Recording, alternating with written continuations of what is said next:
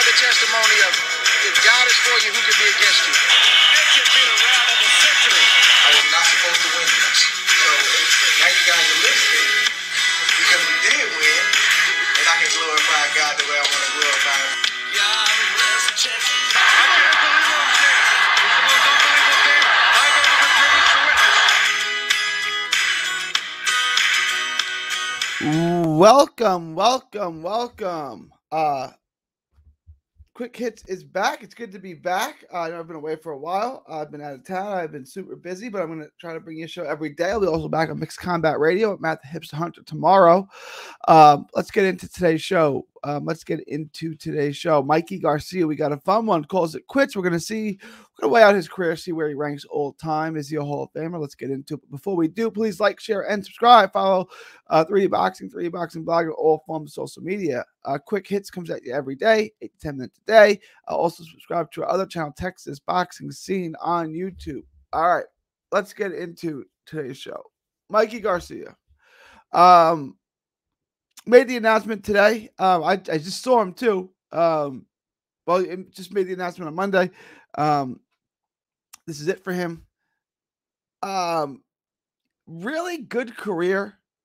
I, I believe it, it, it gets him into the Hall of Fame, and, and we'll get into why. Um, first off, he's a four division world world champ 26, 30, 35, 40.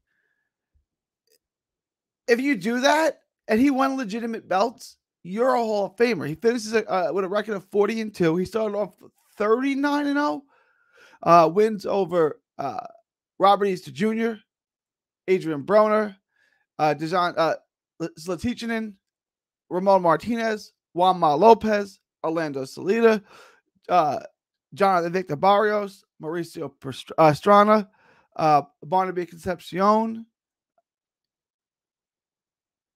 and uh, Cornelius Lock early on um, in the title eliminator. It's a good career. It's it, it's a Hall of Fame career. I, I, know there's not the outstanding names you want on it. There's not the legendary names. There is no, you know, I said, what is Mikey Garcia's, you know, best win? There's no one name that kind of jumps out at you.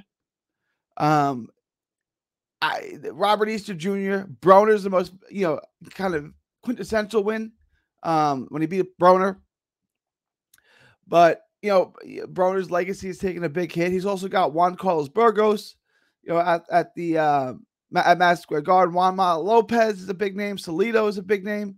Uh, Juanma was here in Dallas. Uh, Salido also at the Garden. Again, those are the names. Those are the resume. It's a Hall of Fame resume. It's a Hall of Fame resume. Four division world champ. I just gave you a list of really good fighters, world champions that he's beaten. It's a Hall of Fame career. Um, you know, when he absolutely destroyed Juanma Lopez, um, Rocky Martinez, and Burgos in succession. You know, he um, he remember he lost his belt on the scale uh, with Juanma Lopez. Um, then he moved up to 30, um, won a title with, with uh, Ramon Martinez, then beat Burgos as well. At that point, he looked like a super talent. He looked like an incredible talent, right? It, it, sky's the limit. Uh, after that, you know, where, where does he end up? You know, all time great fighter. You know, I think he falls short of, you know, putting him on the top, you know, on top list. But at that point, it it looked like a- a- after those wins, uh, the Burgos and Martinez and Lopez, uh, Lopez wins, it, it, looked like he was on a fast track to being pound for pound. Uh, it takes a two and a half year layoff. Two and a half year layoff. It's a long time to be out of the ring. He comes back. He beats uh, Elio Rojas um, in a comeback fight. Uh, destroys him about five rounds. Then he gets the vintage knockout against Zlaticanin. Again, it's a vintage knockout against Zlaticanin. It's a good win. Okay. Um, it's not anything spectacular in namesake, but the knockout was spectacular. Because it's a good fighter. Zlaticanin is, like I said, world champion, good fighter. Um, but you know, not not the name. You know, Zlaticanin had some good wins you know, it, but it's not a legendary name. It's not even a name that we even talk about anymore. He he went on to lose to Lewis Ritson, uh, a couple other fighters, but he's a good fighter. Um, I'm trying to. he beat Ivan Redkach. That that was, and then he went on and he won a vacant belt in his next fight. Um, he's a good fighter. but th- these are the kind of names that Mikey beats. I, I, I think the culmination of all of them and winning four belts in four weight classes, I, I think it puts him in the Hall of Fame. I, I know a lot of y'all are going to hate and say he doesn't have that vintage name on his resume, and, and you're not wrong, he doesn't. Um, but I, I want to hear the argument. Do you guys think he's a Hall of Famer? Mikey Garcia, 40 and 2, four weight division world champion. Ah, sorry about that. Uh, four division world champion. Um, let me know what you guys think. I, I think it's a Hall of Fame career. Um, you know, that two and a half year layoff. And then once he he he kind of you know, he kind of had a Blake Griffin career, right? Like he was on top and he was right near, but just short of the best in the world. And then when it fell apart, it fell apart for him quickly. And it all fell apart with that Errol Spence fight. Goes up to 147 when he really should be fighting at 35. He gets dominated by Errol Spence. Uh, comes back, fights Jessie Vargas after a layoff. Um, wins the fight, close, contested, controversially, I would say, or at least contested, close. I, I- it was very close.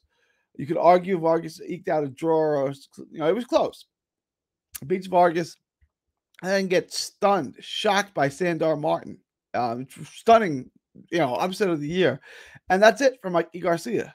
Um, you know, it, it- it's just a shame that that's how his career because it was a really good career, you know, and, and and we'll leave off on his career with those three losses. Um, you got the the teach um, uh, not the three losses, the two losses and and, and the Vargas win, all of which were you know lackluster and disappointing. The Sandor Martin fight was shocking. Um, he got dominated by Errol Spence, and uh, then you got the um Vargas win. It's you know, it's not how you want to remember Mikey Garcia. Uh, you want to remember the the, the Remillard, the, the Orlando Salido, the Zlaticanin knockout, the Broner performance. These are how you want to remember Mikey's excellent timing, excellent combination punching, in and out on you, you- quintessential boxing skills, really good skills. Um, you know, good pop for you know at 35, really really good pop, really good fighter you know, fundamentally sound fighter. You know, if you were teaching a guy how to box, you, you could show him tapes of Mikey Garcia. Um, and you know, that's it. It's it's it's it's a wrap now for Mikey. But it was uh excellent win. Uh excellent career for Mikey. I think it puts him in the Hall of Fame. Let me know what you guys think. Leave your thoughts, comments below. Let me know if you guys think Mikey is in. If not, leave your arguments. Tell me why he shouldn't be in. Uh it is June 29th, 2022 uh, from Texas to the world. Thank you and God bless.